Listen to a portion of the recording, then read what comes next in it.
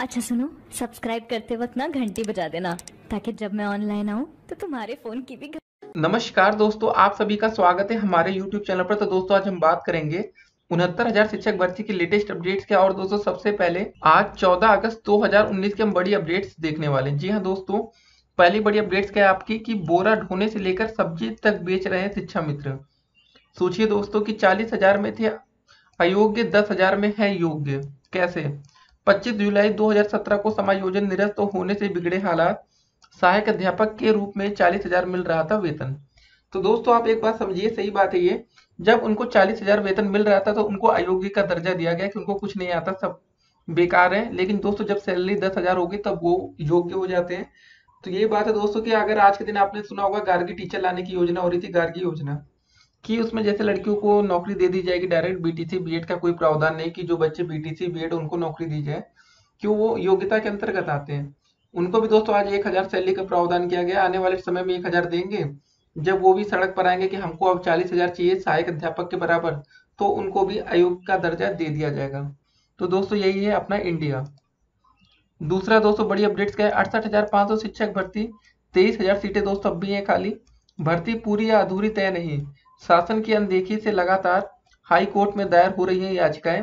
रिक्त पदों को कटाव घटाकर भरने या नई भर्ती पर असमंजस। तो दोस्तों, सभी बच्चे चाहते हैं शिक्षक भर्ती में कि कटाव को और डाउन किया जाए और तीस और तैतीस किया जाए। तो दोस्तों, देखिए, दो शिक्षक भर्ती आपके सामने हो रही है। एक में बच्चे इसलिए लड़ाई कर रहे हैं कि कटाव को हाई किया जाए और दूसरे में इसलिए कि कटाव को और डाउन किया जाए। तो दोस्तों, यहाँ पर अब सरकार को एक बड़ा फैसला लेना पड़ेगा कि जैसा कि सरकार ने खुद कहा था कि हम कटाव किसी भी कीमत पर साठ और पैंसठ से कम नहीं करेंगे, उनहत्तर हज़ार में पहले। ठीक है, अगर दोस्तों यहाँ पर जब कटाव बढ़ाने की बात हो रही है तो यार इस शिक्षक भर्ती में अड़सठ हज़ार पाँच सौ में कटाव गिरा कैसे सकती है सरकार? तो ये भी तो सोचना है ना। वही होता है ना कभी कभी दोस्तों सामने कुआँ पीछे खाई, जो भी आप समझिए। तो वही चीज़ तो अगली बड़ी अपडेट्स दोस्तों देखेंगे। प्रसिद्धि स्कूलों में प्रेरणा ऐप से हाजिरी का आदेश निगलते बन रहा है, ना तो उगलते ठीक है दोस्तों, जो आदेश आया, ना तो उसको निकल पा रहे, ना तो उगल पा रहे, व्यवस्था पर सवाल। पाँच सितंबर से प्रदेश में लागू होना है प्रेरणा ऐप। तो दोस्तों, हमने इसके लिए एक अलग से वीडियो बना रखी है आपको कि इसमें प्रेरणा ऐप में होगा क्या। तो इसको इस वीडियो में भी थोड़ी बहुत देख लेंगे। और अगला सवाल दोस्तों, अगला क्वेश्चन जो आ रहा सबसे बड़ा, आज की बड़ी अपडेट की। शिक्षा मित्रों की टूटी है उम्मीदें, पुनर्याचिका खारिज होने से सदमे में है शिक्षा मित्र। तो दोस्तों, आज देख रहे होंगे आप लोग शिक्षा मित्रों को लेकर कितनी अपडेट्स आपको देखने को मिल रही है। उसके बाद दोस्तों चालीस, पैंतालीस और साठ पैंसठ पहली अपडेट्स में दोस्तों कुछ ज़्यादा ही दुखद खबर है कि अब सोचिए, बोरा ढोने से लेकर सब्ज़ी तक बेच रहे हैं शिक्षा मित्र। जी हाँ दोस्तों, होता है क्या यार, अब आज की महँगाई के दौर में अब दस हज़ार से कुछ होता तो है नहीं। पूरी फैमिली चलानी होती दोस्तों, और आपको पता है कि डीपीएस जैसे स्कूल की फ़ीस कितनी होती है। आपको पता होगा, दिल्ली पब्लिक स्कूल की दोस्तों हम बात कर रहे हैं, जो भी आपके ज़िले का सबसे अच्छा स्कूल माना जाता है, उसको डीपीएस कहते हैं।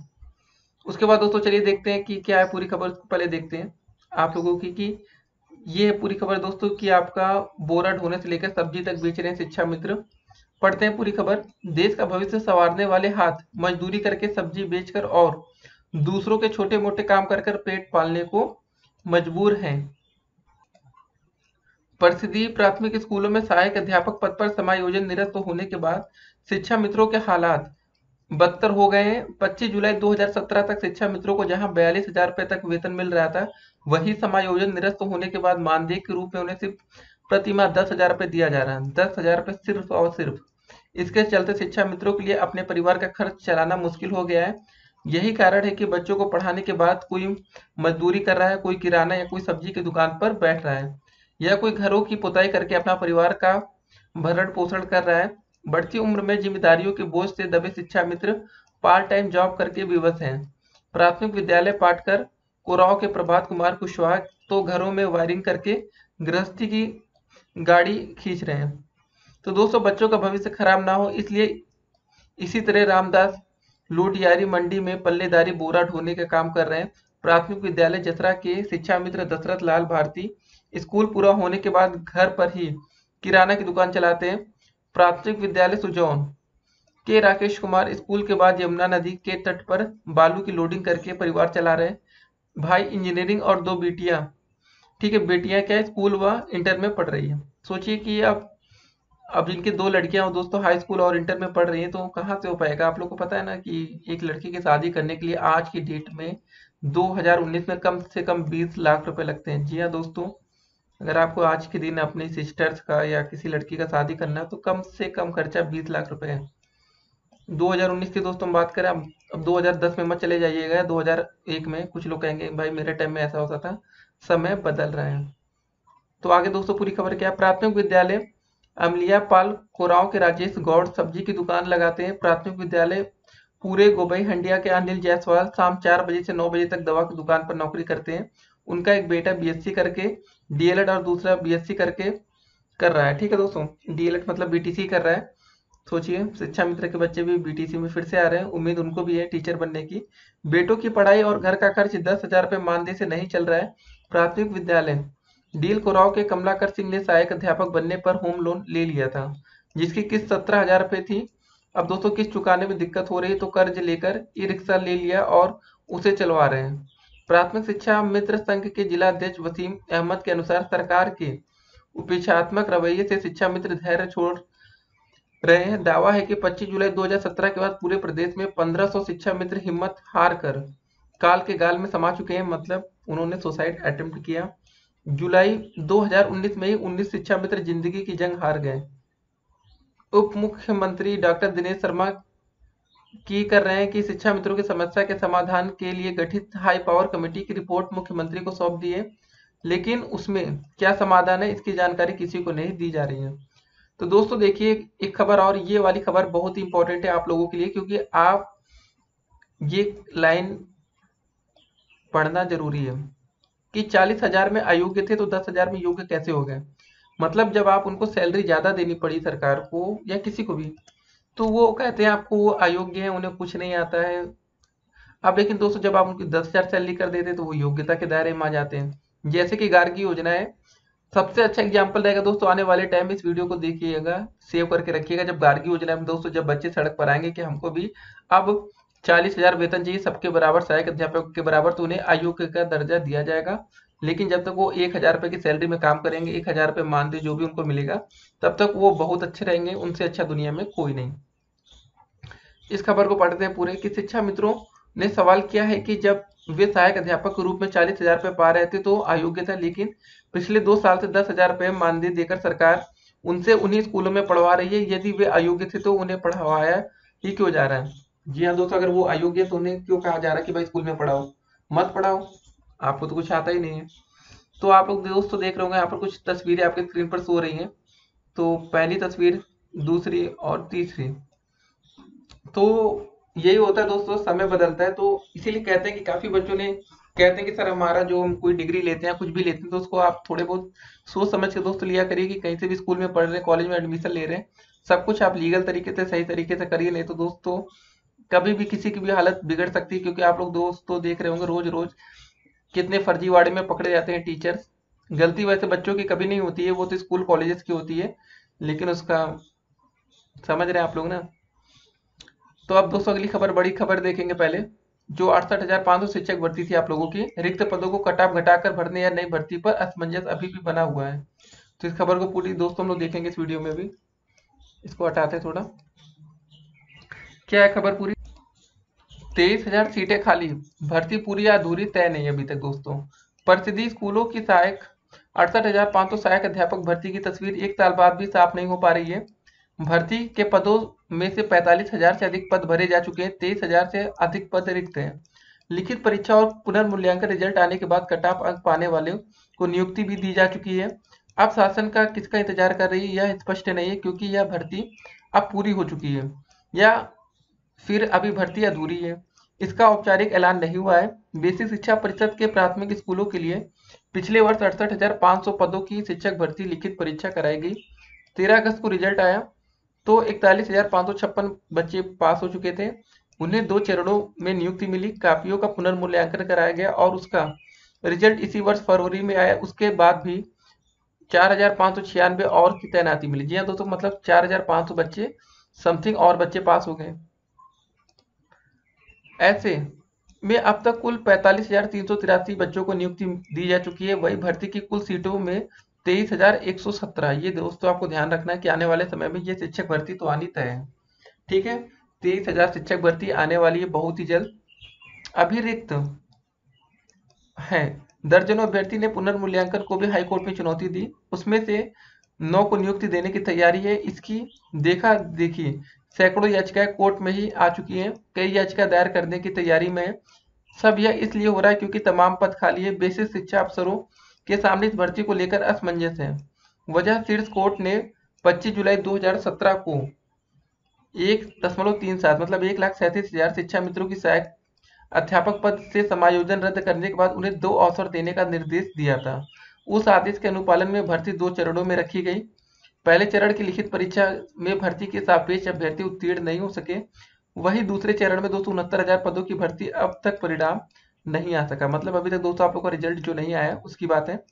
अफसरों ने पहले चरण की भर्ती पूरा करने के लिए पहले कटाव कम करके सभी पद भरने की योजना बनाई थी, लेकिन यह परीक्षा के मानदंडों के विरुद्ध था, इसलिए सहमति नहीं बनी। ऐसे में रिक्त पदों को अगली शिक्षक भर्ती में शामिल करना ही विकल्प है, लेकिन शासन ने इस संबंध में कोई निर्णय नहीं लिया है। कोर्ट में दाखिल हो रही याचिकाओं से परीक्षा संस्था अफसर परेशान है। दोस्तों देखिए पता क्या क्या मैटर फंसेगा इसमें आगे चलकर? क्योंकि आपके सुप्रीम कोर्ट का ऑर्डर था कि शिक्षक भर्ती जो उनका समायोजन निरस्त हुआ उनको दो भागों में किया जाए। जब दोस्तों तेईस हज़ार जब ये सीटें खाली है ना इसको अगर एक और शिक्षक भर्ती हम निकालेंगे तो फिर यहाँ पर ये मामला आके फंसेगा कि, कि क्या शिक्षा मित्र को तीसरी शिक्षक भर्ती में पच्चीस अंक का भरांक मिलेगा या नहीं? क्योंकि ये पद भी शिक्षा मित्रों का ही है। तो ये मामला रहा है दोस्तों, इसलिए हो सकता है कि अभी रुका है मामला। देखिए, ऐप से हाजिरी का आदेश निगलते बन रहा है, ना उगलते।